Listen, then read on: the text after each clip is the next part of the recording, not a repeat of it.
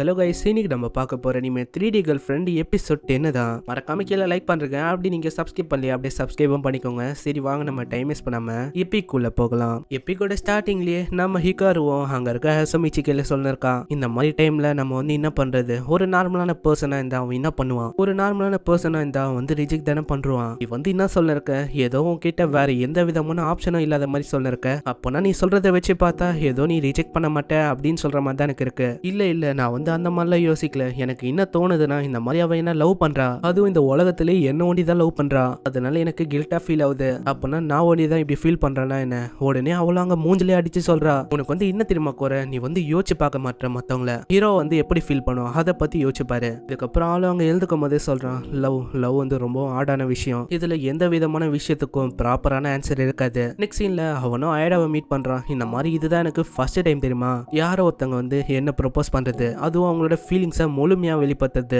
ரொம்ப நன்றி. நீ வந்து எனக்குள்ள நிறையவே நல்ல விஷயத்த தேடி இருக்க. அதுக்கு வந்து நான் ரொம்ப கிரேட்ஃபுல்லாக இருப்பேன். ஆனால் இவளை ரிஜெக்ட் பண்ணுறது அது வந்து ரொம்பவும் கஷ்டமான விஷயம் போல. இதுக்கப்புறம் அவன் ஹைடோ கிட்ட சொல்ல ஆரம்பிக்கிறான். நான் வந்து ஃபர்ஸ்ட் டைம் ஹீரோவை மீட் பண்ணும்போது எனக்கு வந்து அவ்வளோ சுத்தமாக பிடிக்காது தெரியுமா? ஆனால் கொஞ்ச நாள்லயே நாங்கள் பழக ஆரம்பிச்சோன்னே எல்லாமே மாற ஆரம்பிச்சது. ஏதோ நாங்கள் ரெண்டு பேரும் கேட்ச் கேம் விளாட்ற மாதிரி இருந்தது. எதெல்லாம் தூக்கி போடுறனோ அதெல்லாம் அவ பிடிச்சி எனக்கு திரும்பவும் தூக்கி போகிற மாதிரிலாம் தோணும் தெரியுமா? நான் வந்து இந்த மாதிரி பொண்ணு என்னோட வாழ்க்கையில் நான் சந்திச்சதே இல்லை. உனக்கு வந்து இது புரியல இல்லைன்னு நினைக்கிறேன். இல்ல இல்ல நீங்க வந்து கண்டினியூ பண்ணுங்க. உனக்கு வந்து இதை புரிஞ்சிக்கிறது கஷ்டமான விஷயம். அவ வந்து என்ன இந்த வீடியோ கேம் உலகத்துல இருந்தே வெளியில கொண்டு வந்திருக்கா? அந்த மாதிரி ஒரு விஷயத்த பண்ணியிருக்காவ ஆனா உண்மையை சொன்னா நீ நினைக்கிற மாதிரி அந்த மாதிரி பையனே நான் இல்லை. நீ நினைக்கிறதோட நான் பத்து மடங்கு வேஸ்டான பையன். அதனால தான் நான் வந்து என்னோட ரிலேஷன்ஷிப் அதை வந்து இன்னமும் ஸ்ட்ராங் ஆக்கலான்னு பாக்குறேன். இப்படி ஒன்று சொல்ல இருக்கும்போது சைடில் ஹீரோவாவும் இவங்களோட பேச்சு எல்லாமே கேட்டுருப்பாளா அவளை கையை பிடிச்சி இங்கே கொண்டு வந்துடுறான். உனக்கு வந்து புரியுதாயிடும் நான் வந்து லவ் பண்றது இவளை தான் எனக்கு புரிஞ்சிருக்கும்னு நினைக்கிறேன். உன்னோட ஃபீலிங்ஸ்க்கான பதில். எனக்கு வந்து நல்லாவே புரியுது. நான் வந்து என்னோட ஃபீலிங்ஸை உங்ககிட்ட கன்ஃபர்ஸ் பண்ணேன். அதுக்கு நான் ரொம்ப சந்தோஷப்படுறேன். ஏன்னா நான் உங்ககிட்ட பண்ணியிருக்கேன். வேற யாருக்கிட்டையும் பண்ணாம. இப்படி சொல்ல இருக்கும்போதே அவளோ அப்படியே கீழே விழுந்துடுறா இதெல்லாம் சொன்னக்கப்புறம் என்னோட பாடி அப்படியே வீக்கான மாதிரி ஃபீல் ஆகுது. அங்க ஈக்காருவும் அப்படியே விழுந்துடுறான் நானும் அதே தான் இந்த மாதிரி எனக்கும் ரொம்ப வீக்கா ஃபீல் ஆகுது. செம்பாய் நீங்க சொல்லும் போது எனக்கு ஒண்ணுமே புரியல. ஆனா நீங்க த்ரீ டி வேர்ல்டுல இருந்து டூ டி வேர்ல்டுக்கு வந்தீங்கன்னு சொன்னீங்களே அதை பத்தி எனக்கு இப்போதான் புரியுது. இப்படி இவங்களும் பேசின்னு இருக்கும்போது அங்க இஷினு மேல இருந்து இது எல்லாத்தையும் பார்த்துன்னு இருக்கா. எனக்கு வந்து இவங்க என்ன பண்றாங்கன்னே புரியலப்பா என்னதான் பண்ணிருக்காங்களோ. நெக்ஸ்ட் சீன்ல அவங்க ரெண்டு பேருமே உட்கார்ந்து இருக்கும்போது அங்க ஹீரோ அவன் கேக்குறா. ஏ சுட்சுன் உன்னால அந்த வார்த்தையை திரும்பவும் சொல்ல முடியுமா? இல்ல என்னால இப்போதைக்கு சொல்ல முடியாது அதெல்லாம். இல்ல நீ அப்படிலாம் சொல்லக்கூடாது. சொல்லு. ஐ லவ் யூ ஹீரோவா இது கேட்டுன்னு இருக்காவ அழுவ ஆரம்பிக்க. அவனும் அங்க கண்ணெல்லாம் துவச்சு விடுறான். கண்ணை துவச்சக்கு அப்புறம் அப்படியே இவங்க கிஸ் பண்ணிக்கிறாங்க. லவ் லவ் வந்து ஒரு எனர்ஜி தெரியுமா? அது வந்து உன்னோட பாடியை மூவ் பண்றோம். உன்னோட மூளை யோசிக்கிறதுக்கு முன்னாடியே உன்னோட பாடி வந்து ஆட்டோமேட்டிக்கா மூவ் ஆகும். இது வந்து எந்த மாதிரி பவர்னா இது என் கிட்ட இல்ல. ஆனா இப்போ இது என் கிட்ட இருக்கு. இந்த சைடு நம்ம ஆயிடா கிட்ட நம்ம ஈட்டவும் வரான். அங்கே ஆயிடாவும் சொல்றேன் இந்த மாதிரி நான் இப்போதான் புத்துணர்ச்சியா ஃபீல் பண்றேன் தெரியுமா? நான் வந்து என்னோட ப்ராப்ளத்தை சால்வ் பண்ணிட்டேன். இதை சொல்லிட்டு அவ்வளோ அழு ஆரம்பிக்க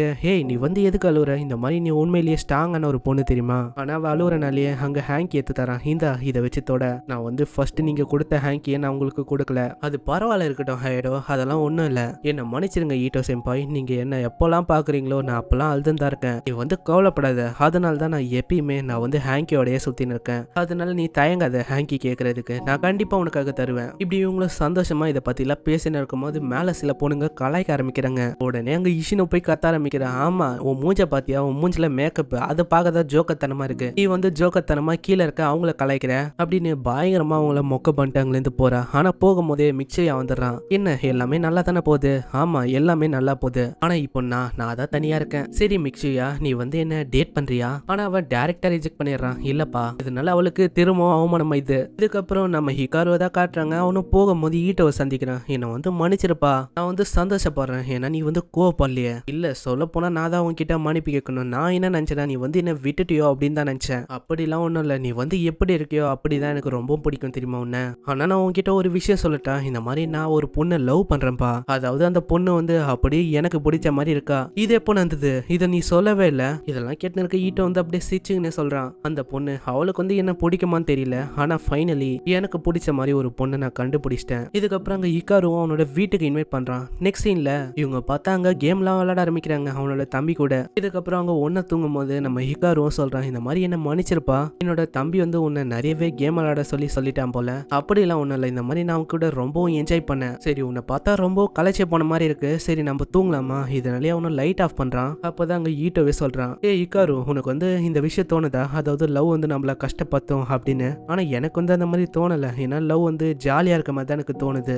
அதாவது நான் என்ன சொல்கிறேன்னா நம்ம லவ் பண்ணுறவங்க கூட இருக்கும்போது அது ஜாலியாக இருக்குல்ல?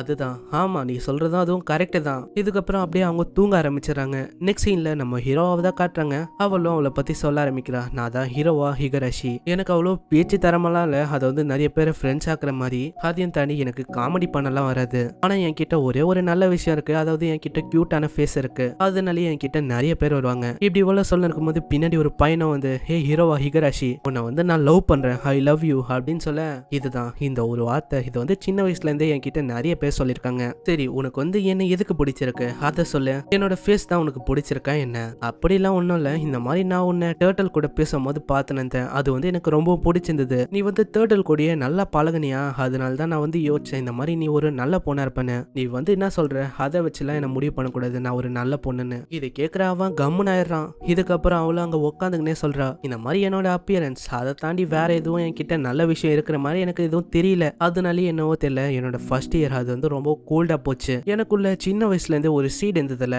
அதுவும் வளர ஆரம்பிச்சது அதுவும் நல்லாவே வாழ்ந்தது ஏன் இத்தனைக்கும் என்னோட கனவுல கூட அதே தான் வந்தது. நான் வந்து என்னையே நான் டிஸ்ட்ராக்ட் பண்ணிக்கணும்னு நான் நிறைய பேர் கூட ரிலேஷன்ஷிப்புக்கு போனேன். நான் எத்தனை பேர் கூட போனேன்னா எனக்கே சரியா தெரியல. அத்தனை பேர் கூட போயிருக்கேன். இதுக்கப்புறம் அவ பக்கத்துல இன்னொரு ஒரு பாய் ஃப்ரெண்டா இருக்கான் அவனும் கேட்கறான் ஏ ஹீரோவா நீ வந்து ஏதாச்சும் யோசனை இருக்கியா என்ன? இல்ல இது வந்து என்னோட நார்மல் ஃபேஸ் தான். இல்ல என்னால ஒன்னு புரிஞ்சிக்க முடியும். அதனால தான் கேட்குறேன் இந்த மாதிரி சொல்லணும் ஏதாச்சும் சொல்லு. ஓ அப்படியா? ஒரு விஷயம் இருக்கு. ஆனா அதுக்குள்ளேயே அவன் கிஸ் பண்ணிடுறான். நான் வந்து அந்த விஷயத்த சொல்லலாம் நினைச்சேன். அதுக்குள்ள இவன் இப்படி பண்ணிட்டான். எனக்கு அப்பத்துல இருந்து இந்த விஷயம் தான் தோண ஆரம்பிச்சது. யாரெல்லாம் என்னால அட்ராக்ட் ஆகுறாங்களோ அவங்கள எதனால எனக்கு அட்ராக்ட் ஆகுறானா இந்த மாதிரி என்னோட கியூட் ஃபேஸ்னால தான் நினைக்கிறேன். நான் வந்து எப்பயுமே இதே மாதிரி இருந்தேன்னா இதனாலே என்னோட எக்ஸ்பெக்டேஷன் அதையும் நான் ஏத்தவே இல்லை. இதுக்கப்புறம் சீனு ப்ரெசென்ட்டுக்கு வந்து அங்க பார்த்தா அவனும் கேட்கறான் ஆமா என்ன ஆச்சு ஹீரோவா? ஹீரோவாவும் மைண்ட்லேயே சொல்றா. அதுக்கப்புறம் தான் நான் இவனை மாதிரி ஒரு பர்சனை மீட் பண்ணேன். ஒன்றும் இல்லை கரு நான் சும்மா தான் யோசிச்சுன்னு இருந்தேன் அப்புறம் தான் இவங்களே முன்னாடி பார்க்குறாங்க. முன்னாடி பார்த்தா அவனோட தம்பியும் அந்த பொண்ணும் கையை போச்சுன்னு போயின்னு இருக்காங்க. ஆமா நீங்க ரெண்டு பேரும் இங்க என்ன பண்ணிருக்கீங்க? நான் வந்து யோசிச்சு கூட பார்த்ததில்ல. இந்த மாதிரி எலிமெண்ட்ரி ஸ்கூல்ல படிக்கிற பசங்க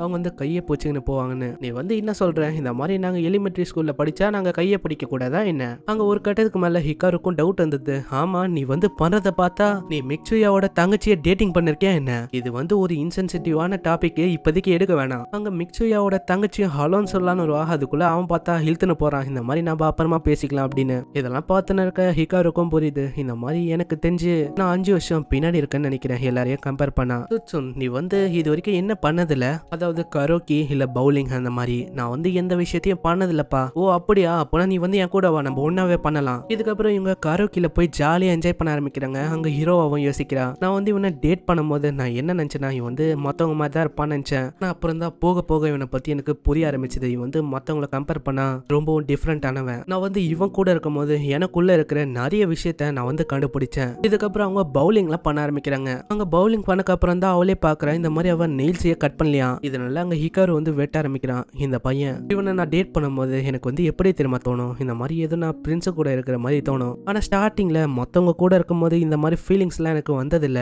டேட்டிங் அது வந்து ஒரு டெம்பரவரியான விஷயம் அப்படின்னு தான் நான் நினச்சிட்டு இருந்தேன். ஆனா இவன் கூட டேட்டிங் பண்ணும்போது எனக்கு அது ரொம்பவும் மெமரபுளாக என்ஜாயபுளாக இருக்கு. நான் வந்து என்ன ஆசைப்பட்றேன்னா இது லைஃப் லாங் அப்படியே இருக்கணும் அப்படின்னு தான் நான் ஆசைப்படுறேன். அங்க இக்காருவ சொல்கிறேன் இந்த மாதிரி நான் கூட நல்லா இருக்கேன் தெரியுமா? ஓ நீ வந்து அப்படி சொல்றேன்னா இந்த மாதிரி நான் உன்னோட ரூமுக்கு வரலான்னா ஓகே தான். இதுக்கப்புறம் அவனோட மனசுல யோசிக்கிறான் இன்னமும் மூணே மூணு மாதம் தான் இவ இருப்பா. அதுக்கப்புறம் இவ இங்க இருக்க மாட்டா. நான் வந்து இந்த ஃபீலிங்ஸை எப்பயுமே நான் வந்து உணரணும்னு ஆசைப்படுறேன். இப்படி சொல்ல இருக்கும் போதே அவனை ஃபோர் ஹெட்ல போய் கிஸ் பண்ணிடுறான். இப்படி இவன் கிஸ் பண்ணுறதோட இங்கே இந்த எபிசோட முடியுது. இந்த எபிசோட வந்து உங்களுக்கு பிடிச்சிருக்கும்னு நினைக்கிறேன். பிடிச்சிருந்தா மறக்காம கீழே லைக் பண்றீங்க அப்படி நீங்கள் சப்ஸ்கிரைப் பண்ணலையா? சப்ஸ்கிரைப் பண்ணிக்கோங்க. இன்னமும் ஒரு ரெண்டு எபிசோட் தான். நம்ம சீக்கிரமாகவே சீசன் ஒன்று கம்ப்ளீட் பண்ணிடலாம். ஸோ இவங்க இந்த வீடியோவை இங்கே முடிச்சனால நானும் இந்த வீடியோவை இங்கே முடிச்சுக்கிறேன். உங்களை நெக்ஸ்ட் எபிசோடில் சந்திக்கிறேன். தேங்க்யூ ஃபார் வாட்சிங் சைனரா